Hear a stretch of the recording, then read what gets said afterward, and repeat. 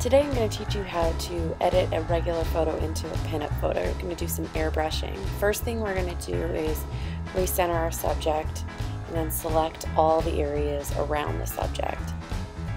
It takes a little time. It takes me about 30 minutes I would say to get this model perfectly cropped. The next thing we'll do is select inverse and we'll make a new layer via copy.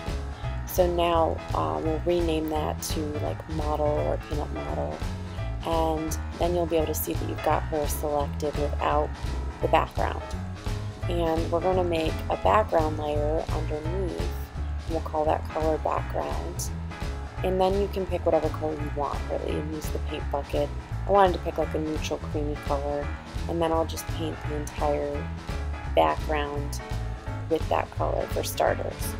And then after I do that, I'm going to um, go to Camera Raw Filter there's a really cool, on the, the FX button, there's a really cool way to vignette it, and then I'm going to manually add a vignette with some white paint some dark colors also to enhance it. I'm going to create a white layer behind that. That way I can um, change the opacity of the color and just play with it a little bit easier.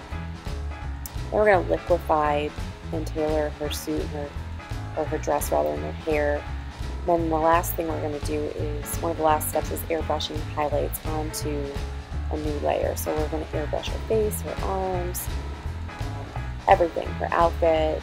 We're going to really want it to be contrasty and shiny. It gives it that airbrush pinup look. The stockings, the legs, every little shine that you can imagine we're going to enhance. I basically paint over white wherever I see a highlight. I go back through the hair, and then can just click back and forth off and on the highlight layer to see the progress that you're making and make sure it's giving you the look you want. Then we're going to maybe adjust the model saturation. So we might prefer to be a little warmer um, in color, maybe a little more saturated. Might up the reds. And then the final step is adding a shadow layer.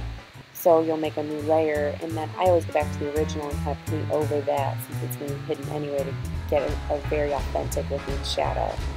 And once you do that, you want to click back and forth to kind of make sure it's looking accurate and erase and blend. It takes some time, but it makes it so worth it in the end. A really awesome result that looks to me like a more authentic kind of a connection with the um, actual photo.